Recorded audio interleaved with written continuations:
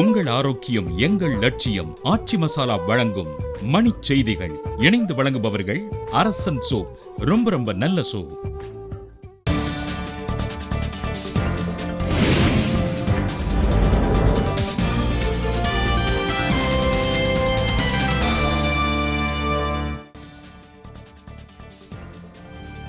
India சீனா எல்லை பிரச்சனையை பேச்சுவார்த்தை மூலம் தீர்க்க வேண்டும் என அமெரிக்கா அறிவுறுத்தல். மருத்துவமனையில் சிகிச்சை பெற்று வரும் கருணாநிதி இன்றே வீடு திரும்புவார் என பொன்முடி தகவல். சென்னை அமைந்த கரையில் அடுக்குமாடி குடியிருப்பில் தீ விபத்து கட்டுப்படுத்தும் பணியில் தீயணைப்பு வீரர்கள் தீவிரம். சேலம் மாவட்டம் கொண்டலாம்பட்டி அருகே சுற்றுலா சென்ற கல்லூரி பேருந்து கவிழ்ந்ததில் முப்பது பேர் படுகாயம்.